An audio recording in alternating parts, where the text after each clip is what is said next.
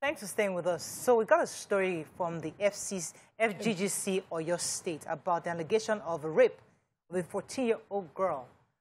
Um, and according to the reports that we have, this is not the first time. It's been almost a decade-long issue where young girls have been raped. And many also alleged that since the resumption of the current principal, these rape cases have heightened. And to the point where this young girl was recently raped, and the report has been, um, the police has made some arrests. On the phone this morning, we have with us um, the Secretary, Old Girls Association, Federal Government Girls College, Oyo State, Olamide Odeneye Thompson, who will be telling us exactly what happened. And then we'll have the Commissioner of Police, Oyo State Command, um, Adebowale Williams, who will also be telling us exactly how much how, um, the arrests have been made and what investigations are ongoing so far. Let me start with the um, Secretary of the Old Girls Association, Olamide Odeneye Thompson. Good morning, madam. Are you there? Yes, I'm here. Good morning, Mariah. Good morning. We got this story and it was quite disturbing. Could you give us an idea of exactly what happened and why your, why your organization is asking for the suspension of the principal? Well, thank you, Mariah. Um, the notice got to us about two weeks ago um, when we got some information online about this uh, rape incident. And as old girls, we swung into action immediately, um, speaking with the principal, uh, trying to get um, an idea as to what exactly happened. And um, I can tell you for a fact that, you know, um, the panel was set up immediately um, in Oyo. Uh, the principal, it's the school's uh, management board committee. So it uh, has representatives of uh, the host community, the old girls, um, the principal, and some concerned staff uh, were at that meeting and we convened on Saturday to show you the importance of this. And uh, the panel has sat and they have sent forward their report to the Federal Ministry of Education. Now, it was alleged that a 14-year-old girl was actually um, sexually assaulted by a teacher. This is somebody um, in, in trust, somebody that we have kept children in trust yes. uh, with in the school. And the panel has put forward their report, and that has been sent to the Federal Ministry of Education. And as old does, we have also put up our own uh, committee to also do a parallel investigation to actually confirm exactly what has happened. And we've been speaking with uh, not just the principal of the school, but as well as the parents, uh, the PTA chairman, and a few other people um, of interest that we think um, will be important into giving us a full picture of what has happened. Now, let me state clearly that we do not, we totally condemn, in fact, we decry all forms of abuse against women and girls, especially sexual assault and by those that, you know, they are exploiting the power and the position of trust that they're in. So we totally decry that we're not in support of it at all. And I'm happy that the Commissioner of Police is also on this call because we, are, we also know that the teacher involved has been arrested and we expect that the police will carry out full investigation and so, charge the court as quickly as possible you know, so that we can get closure on this. Okay. Now, one thing I need to correct, I'm not aware of the decade-long rape cases. We're not aware of that. I suppose just categorically you can say okay. that. We're not aware but of I'd like you to clarify something for me. If indeed an arrest has been made okay. concerning this situation, why, therefore, is your organization asking for the principal to be suspended? Because the police has already taken this up. So why is the principal also mm -hmm. seen as complicit in this? Well, the old girls have not asked for the principal to be suspended. I think that is the um, National Association of yes. Women Journalists, um, and that's the Ibadan chapter, because uh, um, that interview uh, aired yesterday at 6 p.m. TVC News. Um, we haven't asked, of course, for the suspension of the principal. Um, what we're saying is we need to do a thorough investigation and find out the lapses, find out exactly what happened, and punishment be meted right. out to exactly who and who we find right. um, Okay, it, it was frozen. Now, let me just come quickly to the Commissioner of Police. Um, I'm told it's also on the phone. Good morning, sir. Are you there? Madam. CP, good to have you on. So, could you give us uh, a summary of what's going ongoing concerning this matter right now? Can you confirm that someone has been arrested and how much investigation has gone on so far on this? Yes. Um, one, the, the victim, I mean, sorry, the suspect, Alayo Tesi Oyebode, 49 years old, has been arrested. Uh, the victim claims that um, the teacher, this person, Alayo Tesi Oyebode, has been having carnal knowledge of her, and it has been a continuous act since November 2021 to May 2022. And she got tired of the intimidation by the teacher who has threatened that she should not tell anybody. She got tired of this and decided to tell her mom, her friend. As a matter of fact, she said she complained to the principal and even the vice principal. But they did not do anything about it okay, until when the mother was told and she reported at the police station. The suspect was arrested somewhere in Oyo where he was enjoying himself. And today, we have charged him to court. The scene has been visited and this, it was confirmed that the description of the house, that is the staff quarters where the suspect was living is living, is exactly the same as the girl described. And according to the girl, he used to intimidate her, at times using knives, hmm. and even some orthodox uh, uh, uh, threat that if you do this, even if I can't use another thing, I could use spiritual stuff to deal with you. And according to the girl, she's not ready to die, and that is why she decided to watch it out. All right, let me get a few questions in for you, sir. sir it was alleged that the principal of the FGC Oyo was also arrested. Can you confirm his participation in this?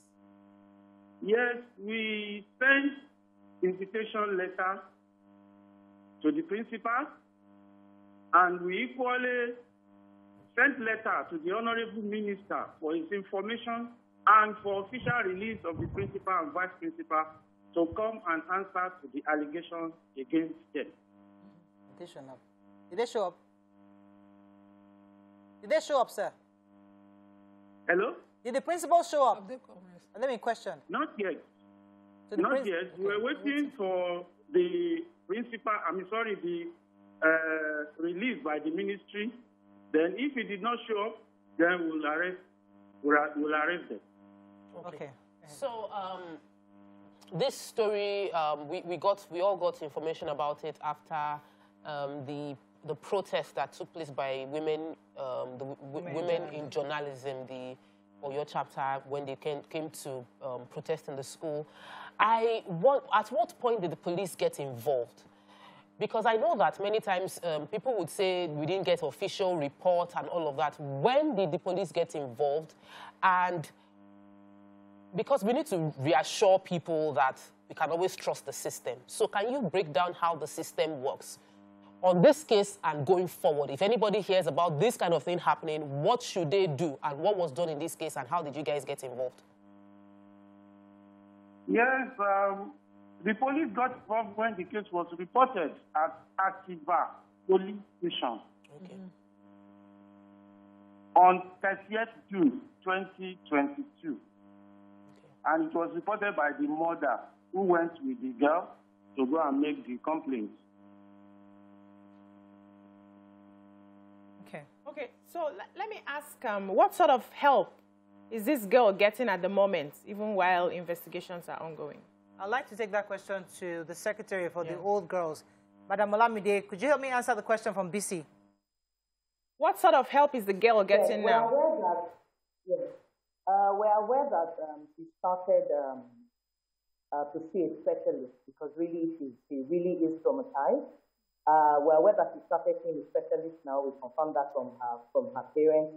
But um, we as old girls, we've also set up um, an initiative where we have members of the old girls who are actually experts and professionals um, to see how we can also be of help, not just to her, but to all other girls within the school. Because the honest truth is that there are a lot of lapses, like I said, and that's why, you know, having a proper committee on ground directly uh, from the Federal Ministry of Education with all girls and then uh, the Unity Students Old School Association, having that committee in place would also help us carry this initiative forward. So we're looking at proper reporting channels. You know, how come she was so scared? Was there a proper reporting channel within school? What happened? who got the report first, then what happens, you know, if the report comes out, you know, things like that. So we're looking at a lot of things. And also going forward to talk to girls about their own safety.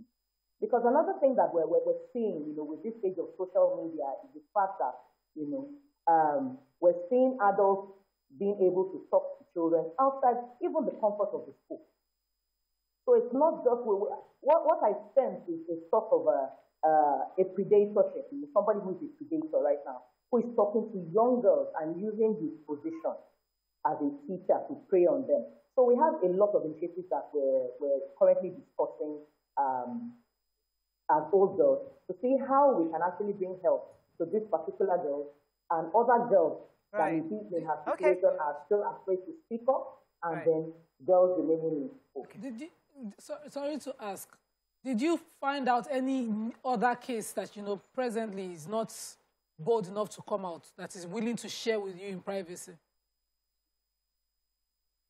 Well, currently, right now, no, because the girls are actually preparing for, for um, exams. So currently, they just got back from half term and they're preparing for their for their final exam. Like I said, we're also waiting for um, the rep of the Federal Ministry of Education, who has also been directed to visit the school. So that's when we're going to go in as a committee to actually have those talks and investigations. But like I said, we're already speaking to some parents and we're already trying to get um, to discover if there are other cases and to also come up with a proper reporting channel, you know, which may not be within the school network. So I like the attention this is getting because sometimes you would hear people, school owners say, issues of defilement, stuff like this happens in school where the school authorities are able to nip in the bud either by sacking the person involved, getting the police involved. But in this situation, because I'm reading the report, it's saying that um, sexual, like sexual predators, I'm seeing words like sexual predators, suggesting that there were more, suggesting that there were other cases. And I can see that the, um, the National Association of Women of Journalists are taking this so seriously because they've involved the NUJ, they've involved the NUT, they've involved various, even the Minister of Education. They're saying, come to our aid. So my question is, is it because of this one case? And I think that's what Nick was trying to say. Or there, there there's evidence cases. that there are multiple cases because when you see the kind of attention this is getting, you're thinking, is there more to this than what we're seeing? So I agree with you. Like I said, we old girls are not aware of a decade-long um, incident. We're not aware of a decade-long incident. We're not aware of that. Okay. All right. We have to we're wrap up. I'd like to 10 years, But like I said, we're working and ensuring that right. definitely this gets the attention that it needs. Okay. Commissioner? Okay. Uh, Commissioner, sir. Commissioner, are you still there, sir? Yes, I'm with you. Okay. So, so when are we looking at, um, you know, are, um, charging this um, suspect. suspect to court? He has been he has, he has been charged to court okay. today. Oh, great. Family court to family okay. court, your State. Okay. All right. CP, in Lagos State, it's almost a known fact that once you have these kind of situations, we encourage our girls to rush, first of all, to the closest healthcare center, go to Mirabel Center, you know, how to report this. In your state, what do you have in place mm. that any child who is defiled or who is have been abused, sexually abused, what's the, what do you, what's the first what's thing the to do within that state mm. to help before it even gets to you at all, that you can have enough evidence to charge people like this? Mm -hmm.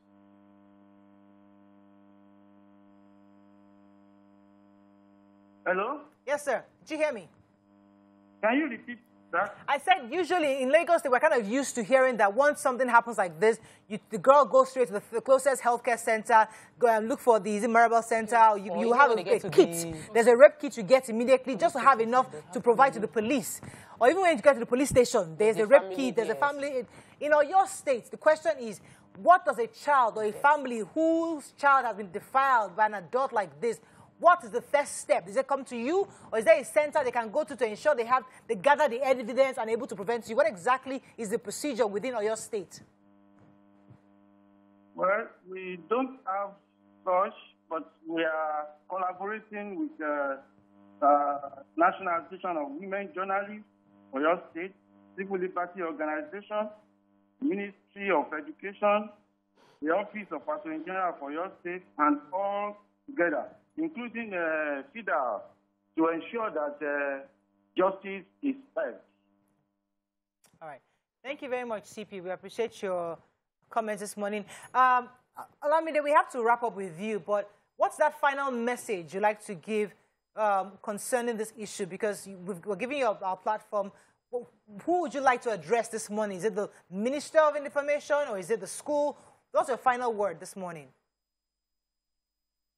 Well, I will still call on the Honorable Minister of Education because it's important that the report of that panel be acted on immediately. I know the teacher has been arrested, but we need to ensure that there's sanity in the process. It's very important mm-hmm. that there's sanity in the process. Very, very important. So we need that committee to be set up on time, and we need the proper punishment right to be handed down to whoever we find that is um, an accomplice in this. That is all I want. Okay, say. CP, are you still there? Before I let you go, what are the charges this morning? Are you there? Hello? What are the charges? Since you're going to court this morning, what exactly are the charges you're filing? He's been charged for defilement. Defilement. Serial defilement. Serial defilement. Okay. Thank you, sir. All right, that's all we can take on the show. I hope, um, I think it's important to know that this issue of defilement happens in many schools. It's not the first time. We've been hearing it for many years. Systems must be in place to ensure that that child who's it's defiled knows I have a way, mm. so I have I can get justice. So the same way we have it in Lagos State and other states, we're hoping that many more states replicate a, there should be a test kit. There should be something. All the schools should also put things in place to protect yes. these children so they have a safe haven to report it. Um, that's all we can take on the show today. Have a great weekend. We'll see you Monday. Bye for now.